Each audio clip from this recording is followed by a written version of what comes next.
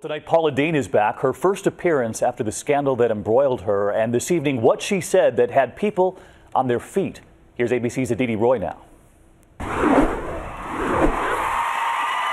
Paula Deen couldn't hold back her tears. These are tears of joy, y'all. Receiving a 10 minute standing ovation from a Houston, Texas crowd. The one place that I would want to make my first step back out was Texas. Her first public appearance since confessing in a deposition she used the N word in the past. I had a little rough patch. her jokes a stark contrast to her public appeal for mercy in June.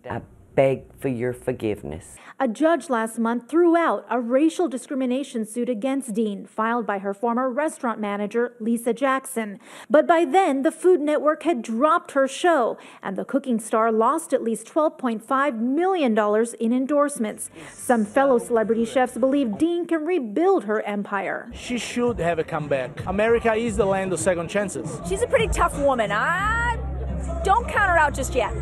A once culinary giant, now seeking a recipe for redemption. Aditi Roy, ABC News, Los Angeles.